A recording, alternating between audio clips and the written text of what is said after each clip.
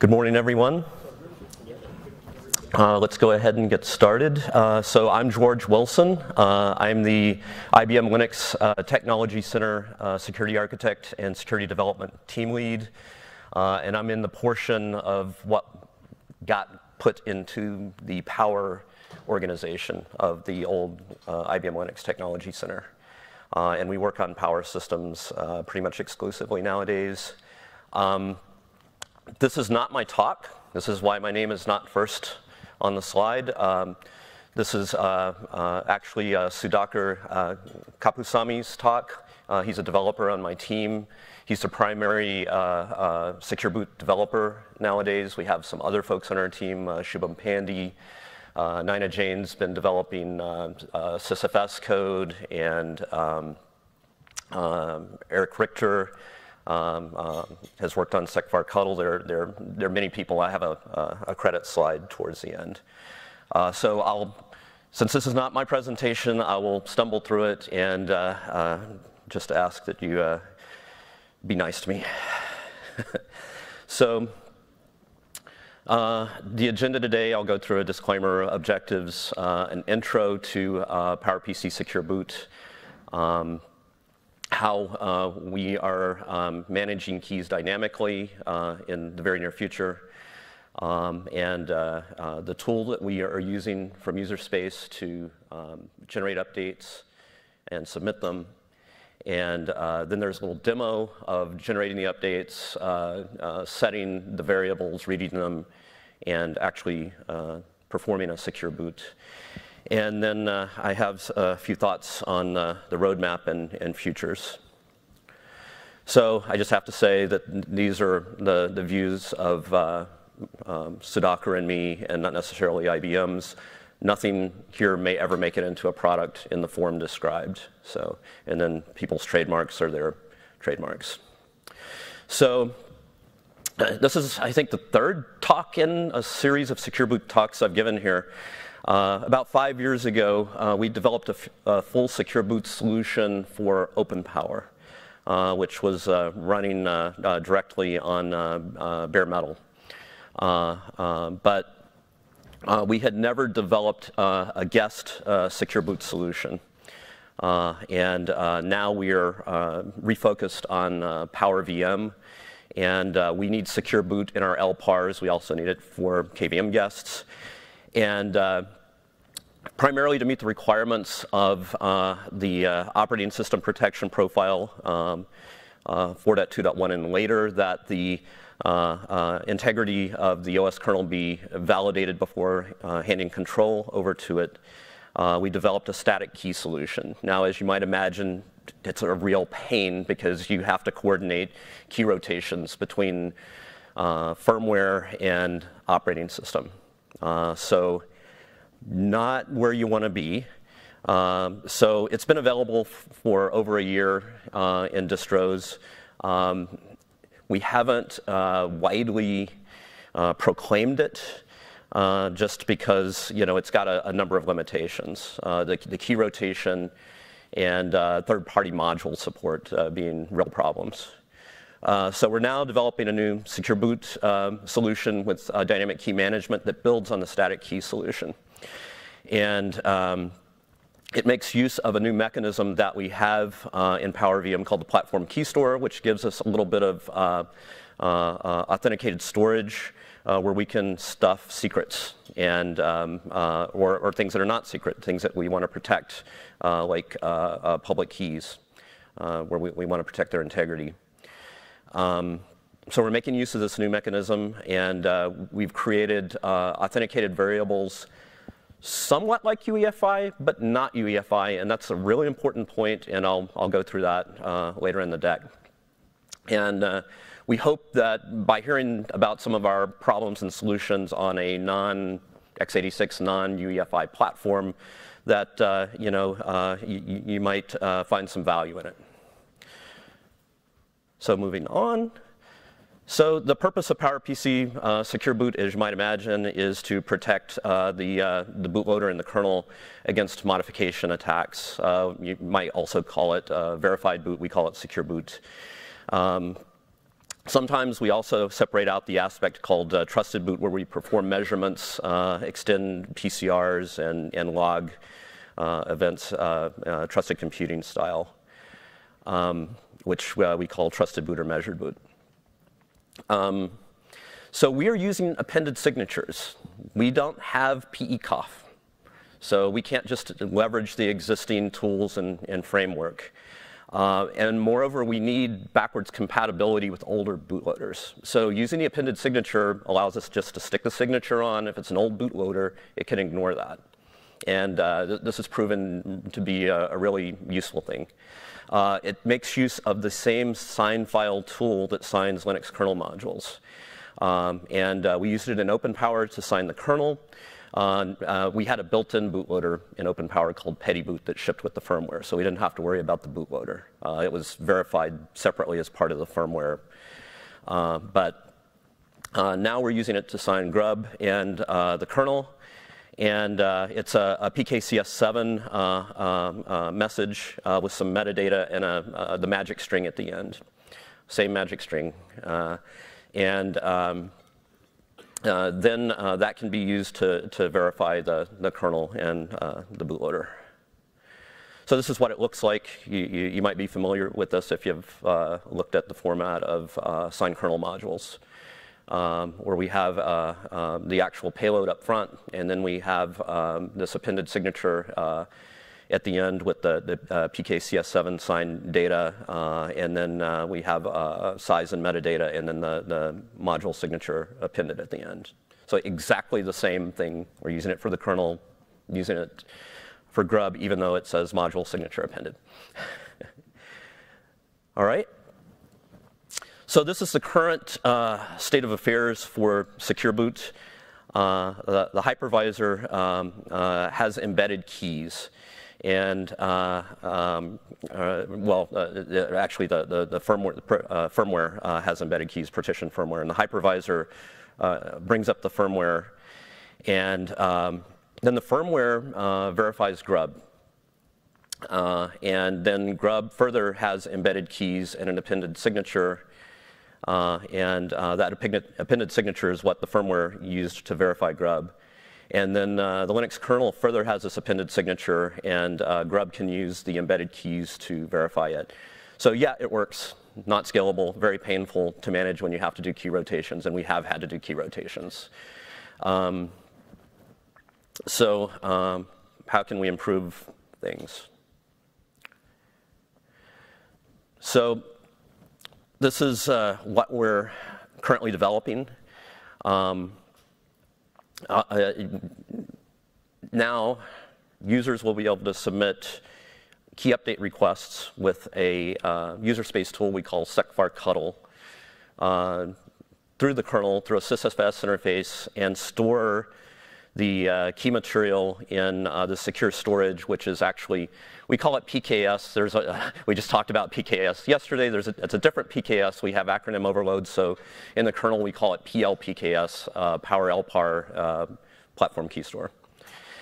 And um, uh, once those are stored, then we can, from the bottom, the hypervisor can bring up the firmware. The, the, the firmware can read the GrubDB and GrubDBX uh, authenticated variables uh, uh, look at that uh, appended signature on Grub, verify Grub, then Grub can read uh, the DB and DBX um, and use those to verify uh, the uh, appended signature or verify the kernel using its appended signature. Um, we support nine variables right now. They're all predefined. There is no flexibility to create new variables right now. I'll talk about why in a little bit. Uh, but um, it basically allowed us to, to, simplify assumptions about the code and, and, and, and uh, reuse some of the open power code that we had. Um, uh, and uh, firmware uh, uses the, the SBAT GrubDB and GrubDBX, and Grub uses the DB and DBX. the Linux kernel loads uh, uh, DB, DBX, module DB, and trusted CADB into respective kernel keyrings, which I'll talk a little bit more about later what those actually are. And uh, um, the authenticated variable naming uh, maintains compatibility with the existing tooling for OpenPower. So, um, you know, why, why, are, why are we using DB and DBX for the, the kernel? It's an artifact that we didn't have to worry about bootloader in OpenPower. So uh, it's a little similar to UEFI, but it's not UEFI. So these are authenticated variables. Um, we have a PK, which, which is the um, ultimate authorization and uh, um, indicator of secure boot state. Um, we uh, um, uh, have a KEK, we, we have this DB and DBX, but don't read too much into these names.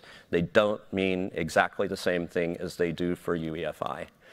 Um, we borrowed concepts, and we actually borrowed code from TianoCore since it's got this nice uh, uh BSD2 clause license. Um, but uh, we don't have a central signing authority. We don't have a shim. We don't have a MOK.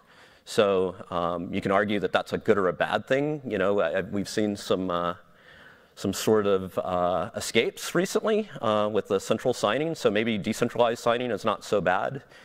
Uh, and uh, the, the, idea here is also that uh, administrators can easily sign their own kernels and their own bootloaders. So, and, and, we, we deliberately didn't want to get into the business of being a central signing authority. Uh, and I talked about the, the, the, awkward use of DB and DBX. It's, it's just maintaining compatibility with our existing tooling.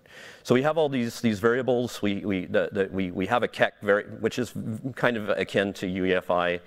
The GrubDB and GrubDBX are used to verify Grub. Uh, we are using SBAT. SBAT turns out to be a really important concept because um, uh, much like on uh, uh x86 64 systems, we have limited storage uh, even for this. We'll be expanding the PKS, the platform key store storage in the future, but right now we're fairly constrained and uh, SBAT is just really, really pretty, pretty nice that you can just uh, block a whole uh, uh, set of things from the past based on a generation number. Uh, so that's a, that's a, a very important thing that we implemented. Um, and as I mentioned, DB and DBX names are artifacts. The, the trusted CADB and module DB are used to verify third-party signed modules. And uh, this is really important because um, if you're trying to boot a machine and you need to get to the disk, you, you have to have some way to get to the disk. Uh, and uh, you, you, need to do that in a, uh, in a secure way. Uh, and not all drivers, unfortunately, are uh, uh, shipped in the distro, and they're not all part of the kernel. So we do have third-party modules that we have to uh, handle, so we've got explicit support for that. So here's a, uh, uh, a diagram of um, uh, verifying grub from the firmware. So uh, um, uh, grub, or the, the firmware detects the appended signature in an ELF note uh, in the grub uh, binary. So we're using ELF notes to, to, to add things to um, to ELF binaries. Uh, so we have one called appended signature and type ASIG. And um, uh, so the firmware is able to, to see that. Uh, then it, there's a separate ELF note for uh, the SBAT data, and it's, it's literally just a, uh, a, encapsulating a, uh, a, CSV, which is the way it, it, it works on UEFI systems. Um, and uh, uh, so it, the firmware reads these uh, um, um, variables into um, various um, lists that, that uh, it maintains. And then it uh, verifies the grub binary uh, using the signature trusted list, distrusted list, and SBAT list. So um, you can, you can do individual revocations with you know hashes and certificates if you want to, but, but really uh, um, I, I, expect we'll rely on SBAT um, strongly going forward. So then uh, further verifying the, the uh, kernel from grub, uh, Grub reads the DB and DBX uh, from PKS into trusted list and distrusted list, respectively. Detects the appended signature um, from the Linux kernel image and uh, validates the, appended signature magic string and then reads the signature and then verifies that using the appended signature, the, the distrusted list and the, the trusted list.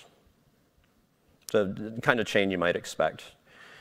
Uh, and then further, um, we're uh, reading uh, trusted CADB and module DB from PKS and putting it into the machine keyring and secondary keyring, respectively. Um, and then uh, it, it, reads the DB and DBX and stores them in the platform keyring and the blacklist keyring, respectively. Uh, the kernel then verifies the modules using the, the secondary keyring. Um, and then uh, uh, it can also verify the next kexec kernel. So we created a, a tool. Uh, we wanted at first to reuse uh, existing tooling uh, for UEFI uh, and, and the, the, the, the, shim, but it turned out not to be real easy to sort of map into that. And we thought it would very likely be confusing to, to have similar names in the same tool that don't mean the same thing. So we created our own tooling out of convenience, uh, and uh, it also gives you a single uh, tool, not multiple tools you have to, to deal with to deal with the uh, authenticated variables.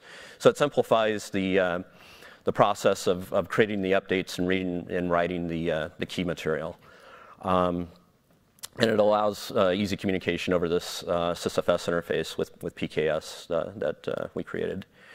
Um, and uh, uh, uh, it supports these nine predefined variables that I talked about. yes, we have to manually expand that in the future if we want to on both the, the tool side and the kernel side.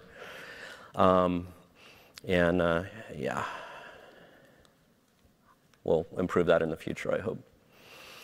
Um, so to update and guess secure boot variables, uh, we, we, have a specific uh, auth file format. Uh, and uh, for the PK, the module DB, uh, the KEK, and the trusted CADB, the X509 public key must be in an ESL. So once again, we're actually reusing structs and a little bit of code from TianoCore here. Um, the DB and GrubDB uh, can be an X509 uh, certificate or it can be a, uh, a binary hash uh, contained in an ESL. Uh, for DBX and GrubDB, uh, it can be a, a, a X509 public key certificate or um, the binary hash or a hash of the uh, uh, key. Um, that's uh, prohibited. So we, we have multiple ways of, of blocking things we don't want to use and then of course SBAT. Uh, is everybody familiar with SBAT in, in here? I, I, don't know if you are or not. Well, I really wasn't until we started looking at Grub, but it's it's pretty pretty cool way of not having to. Basically, the, the problem became that you need to do a bunch of revocations, and now you've got a bunch of either hashes or certificates you've got to store, and you can exhaust uh, your your uh, uh well, in the UEFI case, flash memory doing that. Uh, so they invented a, the Grub uh, uh, maintainers invented a new mechanism to um, compress that and basically say, I will not run anything older than this generation level. And uh, PECOFs already had generation information in them, so we, we just sort of borrowed that and, and brought it over to, to ELF, so you know others may find it useful. But yeah, SBAT is actually really, really cool if you haven't looked at it. Um, so this is what the auth file uh, looks like. This is what we, we put our updates in. And uh, it's got an append header that uh, indicates whether the update is a replace or append. Uh, those are the two uh, operations we support. Uh, it's got the, the auth info at the top. It's a signature that authorizes the, the update. And um, and we didn't show the secure variables, but as you, you might imagine, there's, there's uh, timestamp and, and uh, uh, authorization information in, in the variables. And I, I, wish we had a slide on that, but we don't. Um, and then we have the, uh, the ESL uh, info at, the, at, at, the, the end of it here. uh, that actually contains the key material or the, uh, the SBAT uh, CSV. And it actually, yes, it is a CSV text file. Um, deletion's a special case. We pass empty data in the uh, ESL. These are what some of the commands uh, look like. Uh, um, you know, the, kind of what you might expect. You might need uh, is uh, arguments to, to uh, generate the updates and write, write them out to files. Um, so I'm going to get to the, uh, the demo section here. I have to go out of full screen. There we go. And I don't have control over this as it plays, so yay. So first demo is going to show creating um, uh, the uh, uh, and uh, other variables, and then it's going to read them back. So let's try that. Oh, come on. Come on. Well, it may not go. There we go.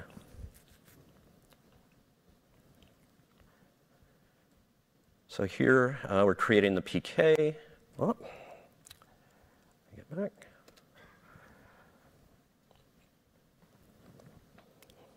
Create the CAC.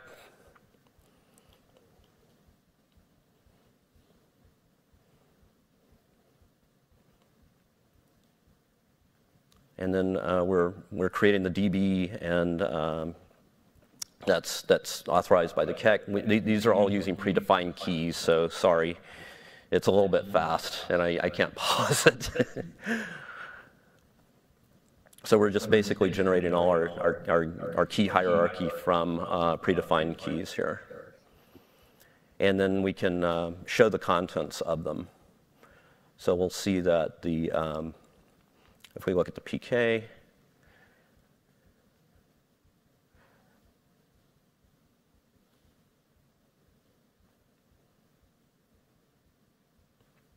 we have our um, we have our ESL down at the bottom, and I think he's going to show this for multiple of the variables here, just kind of what they contain. Same thing for the KEK.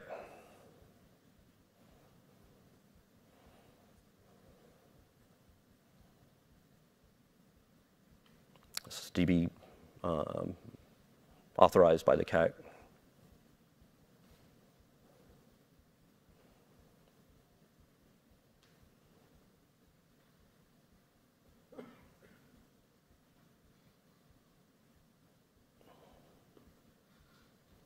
And I wish I had better narration for you, but I don't.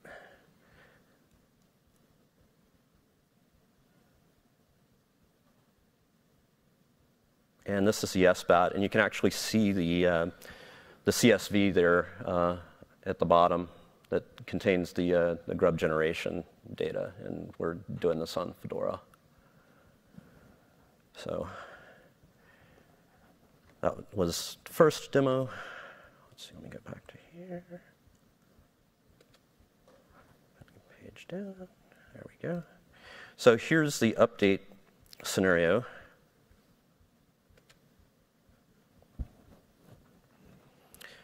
So we actually, uh, there's, there's a flag to the verify command that, that um, um, requests the update, strangely enough, and that might, we might want to make that uh, an explicit command, but that's the way we're, uh, we're submitting the updates right now. So this is actually writing through the sysfs interface. It, it verifies the, um, the auth file, and then it writes it out uh, through the sysfs interface. That's the uh, new interface that um, uh, Nayna Jain started, and uh, Andrew Donnellan and uh, Russell Currey uh, on our Australia team uh, completed and submitted upstream. And it's now in the kernel. So after these, these updates get written to um, the PKS, we can actually read them back.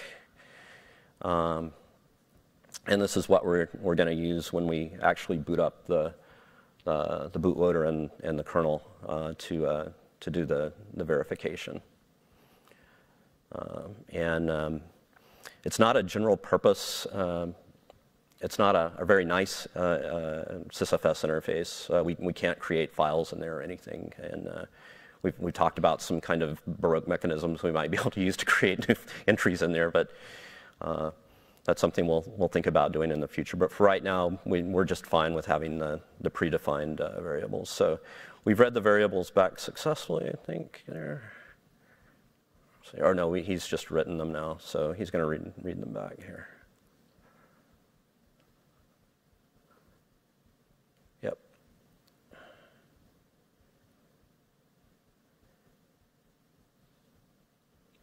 So he's basically showing that we get back uh, what we put into it. I think he'll show the SBAT, and you'll see the SBAT uh, CSV once again. He's written it out.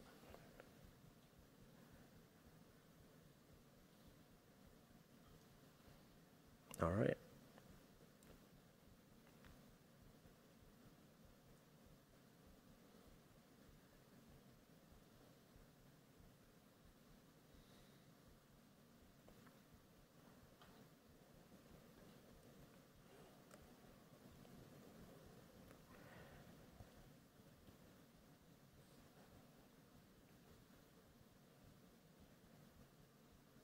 And finally, yeah, SBAT. All right, I think that's this one.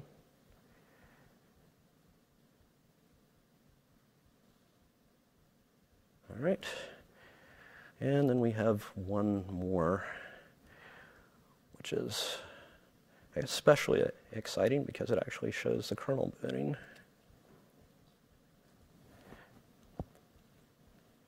So we actually have the, we've established the keys now uh, using our, our tool and the sysfs interface and PKS.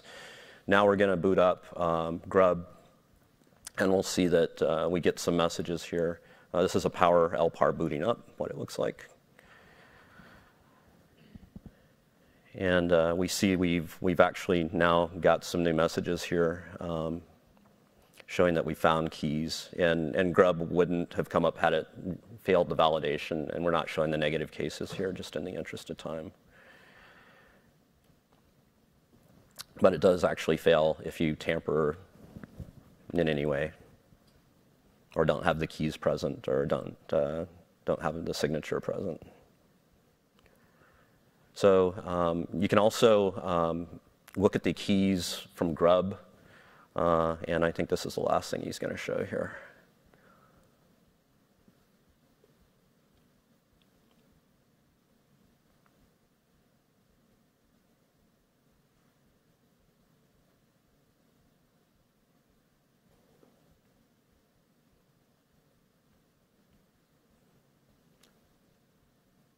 So we can actually uh, list them out here and, and see them.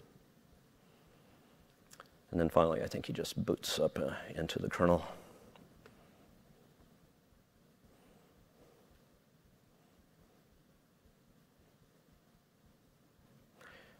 So we're getting very close and um, to uh, having something that's reasonably feature complete, uh, and we'll, we'll uh, I know we'll have some additional uh, work we have to do um, to complete it, and I, I talk about that on a at the very end on a slide, if we can get done with this.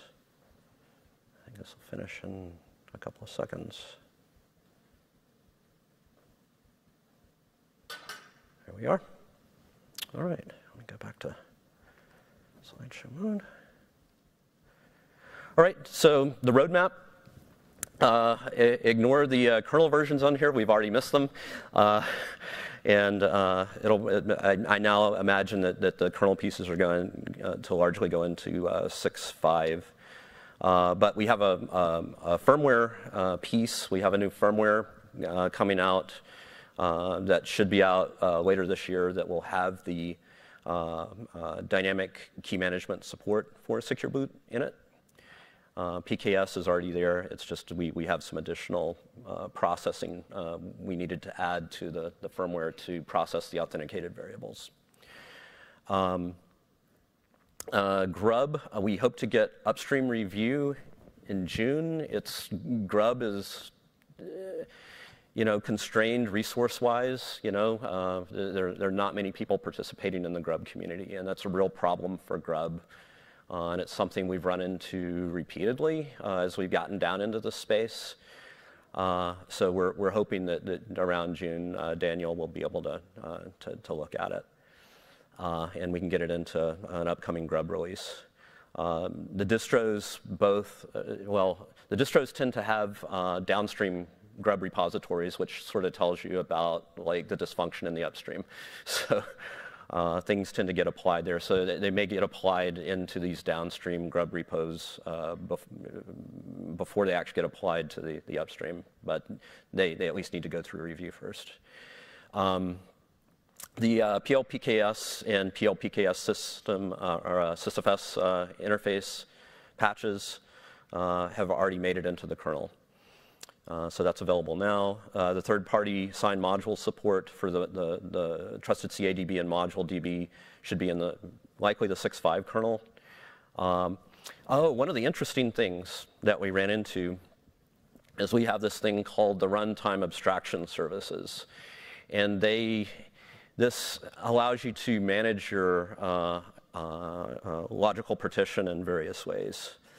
And um, it, it's, it's got a, a, a, a, privileged user space component that up to now has talked through devmem.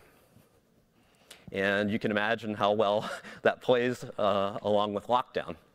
So immediately uh, you, you, turn on lockdown and you can't you know, see how many CPUs you have, you, know, you can't dynamically change anything on your LPAR, uh, and yet you don't want people to have access to devmem.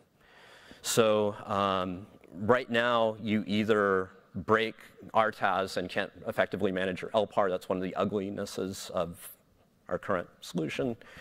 Uh, or you poke holes in devmem just for RTAS.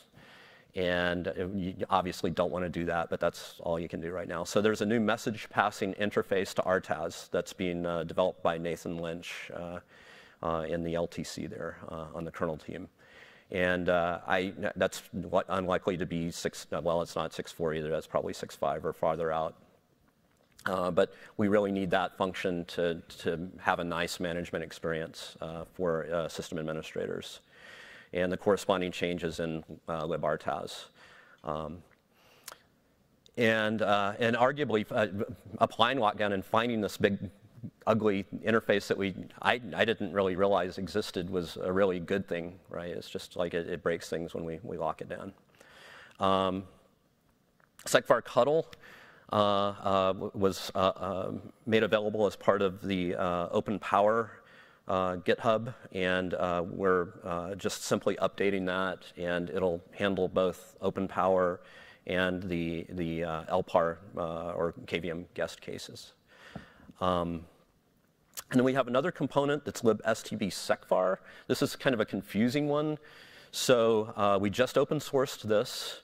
Um, however, it's included in our firmware. So our firmware is proprietary, and we um, don't you know, make that available. But we wanted uh, the whole secure variable um, uh, lifecycle to be reviewable and auditable. So um, uh, we made uh, this available uh, on GitHub. You can actually build it and you can do testing in, in user space if you care to do so. And it might have some value uh, for other reasons in the future, but that's actually included in the firmware. So future work, um, we need to sign and verify the grub config file um, uh, Grub can currently use uh, GPG detached signatures, uh, but you, you, basically have to sign everything with GPG, and nobody seems to be really using this. And everybody, rather than signing the, the Grub modules, they just simply uh, have to build them in. And we ran into this with the, uh, the TPM2 uh, support when we wanted it on Power. it's like, oh, it's not there. Uh, uh, distros, can you please build this, uh, this module in because we can't load it. Um, so we're not actually planning on using the GPG mechanism, but we're going to use detached uh, PKCS7 signatures, like a, very much like a detached uh, appended signature. to do this in the same style we've we've used for the the bootloader and the kernel. And, and, this is a real important piece in in having a full chain of trust all the way up. And it's a deficiency uh, across the board, really, across architectures, unless you're using this uh, GPG mechanism or some other mechanism to verify it. Um, we need some way to sign and verify the MFS. I know we we talked about this uh, uh, at various points. Uh, I think in one of the BOFs we were talking about this, how how we might use go to user space to to do this, right? But yes, I want extended attributes in the initramfs, and then we can use IMA to to verify the files in it. There are other things we could contemplate. You know, and there's the you know uh, unified kernel image um, potential there, but uh, right now that is um, UEFI specific. Uh, and we still need third-party modules for storage and network drivers and maybe even a crypto adapter if you're storing uh, key material in that that you need to use to boot. So we're not, my opinion, we're not going to get away from the initramfs for a while. So we need some way to secure it. And IMA provides us a really flexible way of doing that if we just have the CPIO support. So um, we we I hope we can find some way to make that happen. Um, kernel SBAT, I don't know if it makes sense to extend the SBAT concept to the kernel. Uh, this is something we're thinking about uh, so that we could revoke the kernel um, uh, generations that you know may be vulnerable, old and vulnerable. Uh, and we're evaluating whether uh, we want to do that or not. And we would probably do it in kind of a similar way that we're doing it in Grub. Um, ah, and then a non-goal is uh, cross-architecture key management interface unification. So when um, Nayna proposed the interface for PLPKS, Greg KH said, "Great, I don't want to see another Arch-specific solution. So could you please come up with some unified solution for this?" Uh, talk to the CoCo people. Well, our problem is a little different than CoCo, right?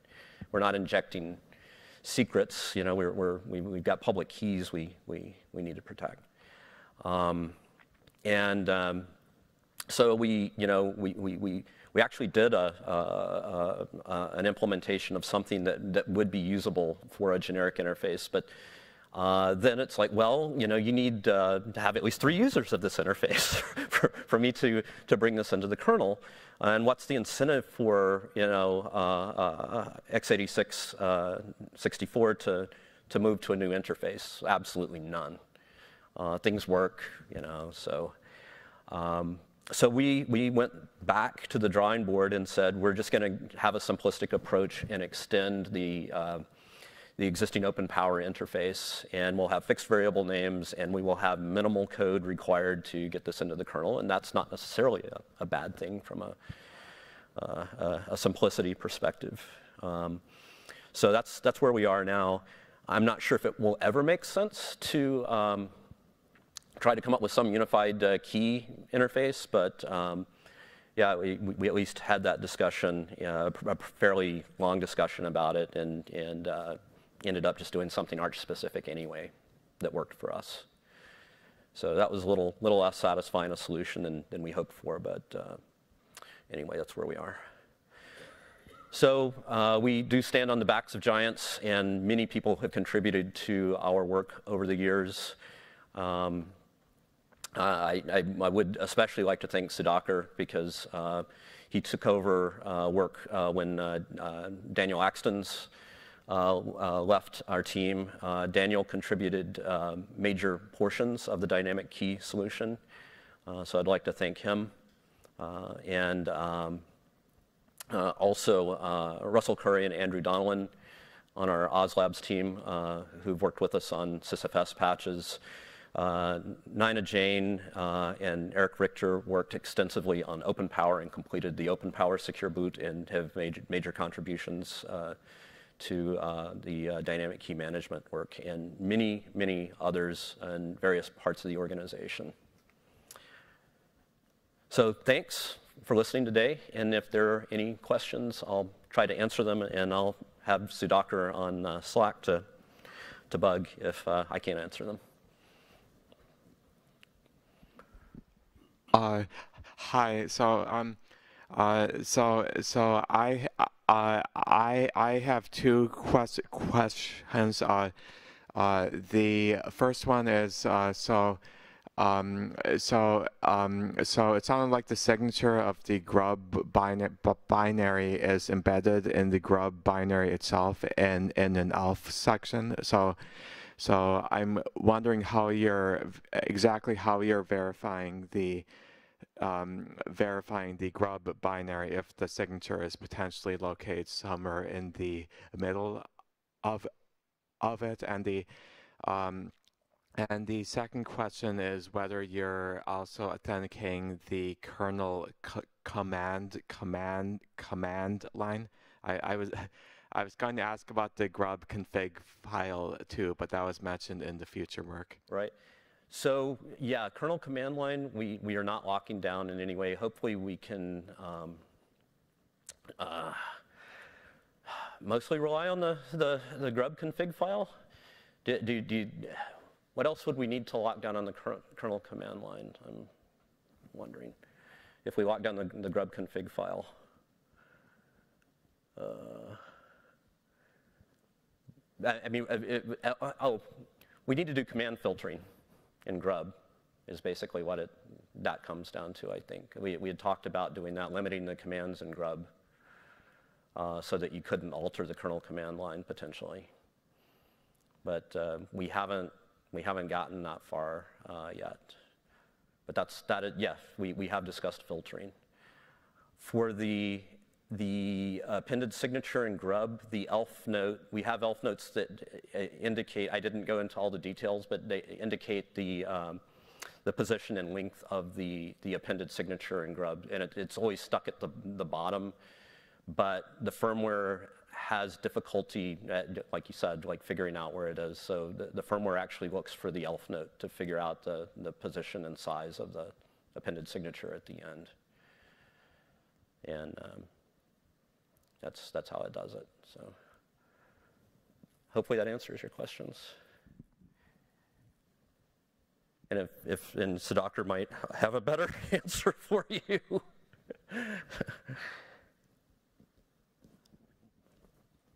Hi. Hi. Um, when, when you're updating the keys, do you use uh, timestamps? Yes. Yeah. We, yeah. Yeah. We do. And um, we also maintain that state in the secure variables, and that's why I said I wish we had a, a, a slide that actually showed the actual format of the secure variables in the uh, hypervisor memory so that you could see that. But yeah, we, we do maintain a timestamp so we can prevent replay attacks. So yeah, absolutely.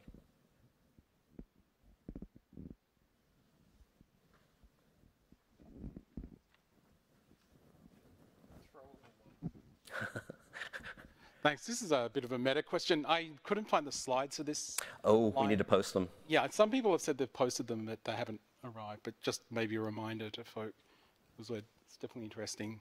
We need to post them. Yep. Share with people. We will.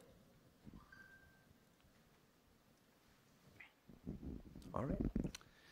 So you talked about your secure boot story, um, but you, early on you mentioned you also have a measured boot approach. We haven't completed that. This, this is also work in progress. We, we, we have certain measurements, um, and we're, we don't, we're not measuring the certificates right now, and we know we need to measure the certificates, uh, and we haven't done a thorough analysis to see what else we need to measure. Uh, but yeah, we, we now at least have the, uh, the kernel uh, uh, uh, measurements um, and, and grub so um, we, we know that the, the certificates are an incomplete portion of the chain. So yeah, we need to do that. Uh, uh until recently, uh, we didn't have Grub. So we, we had a really bad story there. So that's, that's incomplete. That's um, kind of why I'm glossing over that a little bit. And then we also need um, to test it out with end-to-end attestation with Keylime or something, which you know we, we haven't really done either. So we definitely have more work to do uh, on that portion of it as well.